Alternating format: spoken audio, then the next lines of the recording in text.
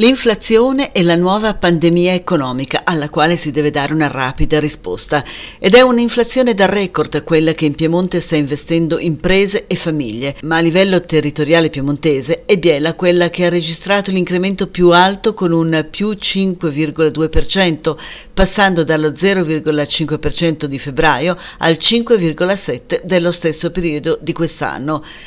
La maggior parte dell'aumento dei prezzi deriva dai beni energetici, che a febbraio di quest'anno hanno subito un incremento del 23,9% rispetto all'anno scorso. In seconda posizione i trasporti ed ancora gli alimentari. Quarta posizione per la ristorazione. Seguono i mobili, l'arredamento, i servizi relativi all'istruzione, alla sanità prodotti per l'abbigliamento e calzature e sono questi dati che emergono dall'analisi sulla crescita dell'inflazione realizzata da Confartigianato Imprese. L'aumento generalizzato dei prezzi, commenta il presidente Giorgio Felici, sta mettendo in crisi le imprese strette tra la morsa delle tasche vuote delle persone e l'incredibile aumento dei prezzi delle materie prime.